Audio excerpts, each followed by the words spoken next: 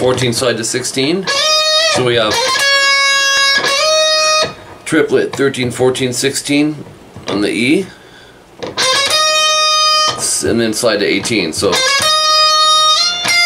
and then uh, pick the 18, whammy bar vibrato. If you don't have a whammy, just manually vibrato it. Section 2B, this is the clean part I played with the delay. And uh, my delay setting's not quite matched with it right now, but uh, minute 24 in. Um, palm mute most of this. I know the B string isn't palm muted and one note on the G, but I'll until we get there, palm mute everything. 15G, 13D twice, and then 13, 15 down up on the E or on the on the G. This has got to be palm muted, like I said, and then up down on the 13, 15. So, and then 13DG, 15G, 13D. So we have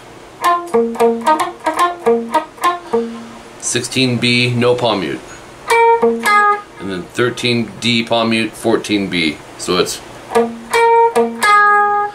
and then uh, 13D to 16B again. So your high note will be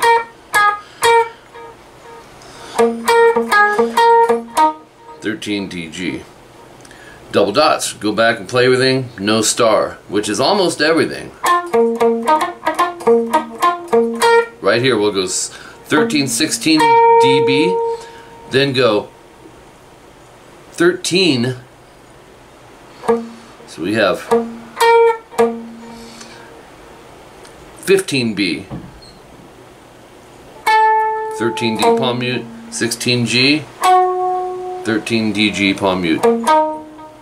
That's the only difference. So instead of going, it'll be on that high melody. Alright, that takes us to page 5. Back to distortion. Not a lot happening right here. It's just 15G. Um, half step bend vibrato. 15B. Same thing, but kind of hold the half step, no vibrato, and then release it. So you have 15, uh, just like you did at the beginning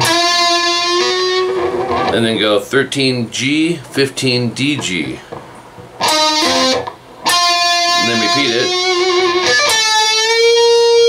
And then 15G, break off of that.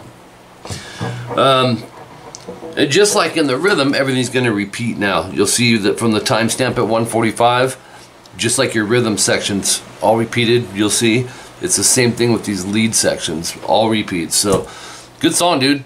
Uh, nice little twist, doing an instrumental too. So have fun with it, man.